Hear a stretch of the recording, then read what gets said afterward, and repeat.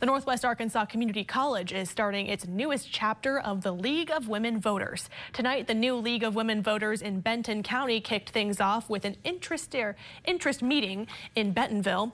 The league says with Benton County growing, it's needed, especially after hearing questions from residents ranging from where to register to vote and where to find more information about candidates. It's really important to be involved with um, your, your local politics, and this is a great vehicle to do that because we are nonpartisan. We only focus on issues. We don't support candidates or parties. Um, so this is a really great vehicle to be involved.